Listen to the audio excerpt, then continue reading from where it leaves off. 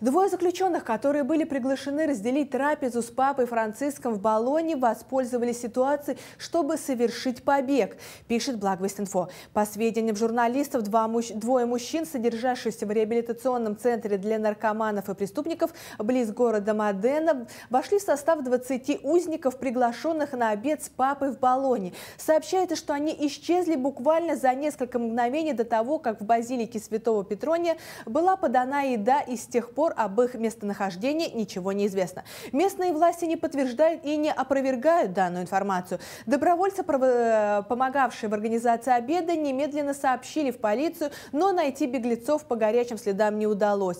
По имеющимся сведениям, оба они итальянцы родом из Неаполя.